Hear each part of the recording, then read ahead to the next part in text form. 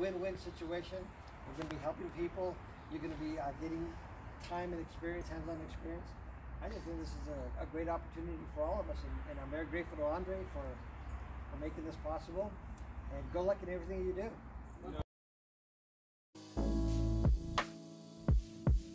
Just going over the tape measure today with the class. It's always good to teach them visually. Right there. Yeah, trying to get in the measurement of 30 and 1 8. 30 and 1 8, right 30 and 1 8. Yeah, exactly. Okay, the next one is 32 and 3 eighths. Don't mess up because you're being videotaped. Uh, oh, uh, uh, 32 and what? 32 and 3 eighths. Remember, you count those eighths. One, two, three, and he's going to count the eighths. One there, get that measurement.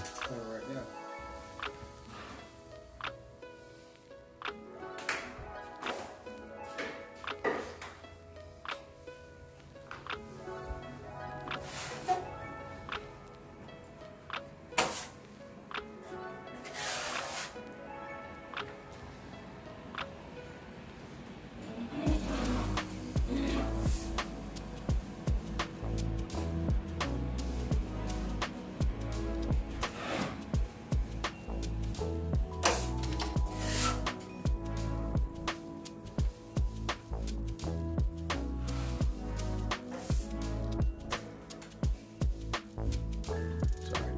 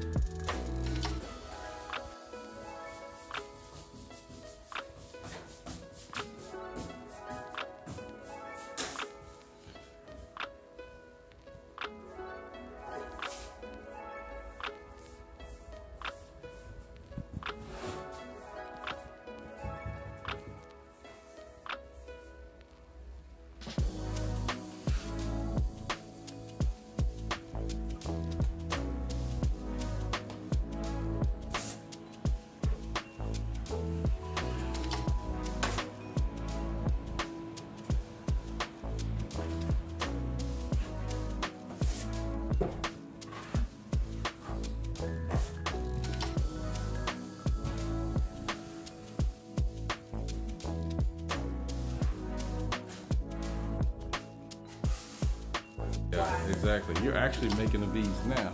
But now you see how your paint is running out, then you can back roll. And now you put some more pressure on that roller. Right. And now you're getting close to the end, and then you flip your roller here. Now you back roll, meaning you go back to where you started. Keep going back in that V motion. So you get close to that wall, and then you turn your roller. Right, exactly. Apply some Ooh. pressure. That's okay. That's okay. Yeah, you're already painted that. Exactly. All right, Now you ran out of paint, so then you get some more. Right?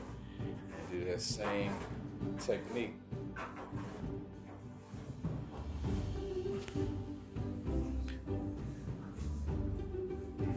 This week at the handyman school, going over several tools we'll be using in about two weeks.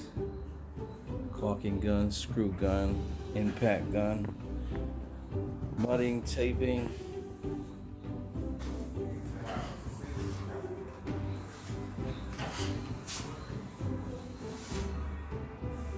Painting the door.